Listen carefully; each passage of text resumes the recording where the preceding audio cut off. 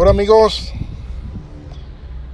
pues miren aquí, finalmente llegamos aquí a la laguna de Yuriria, pues vamos a ver qué tal.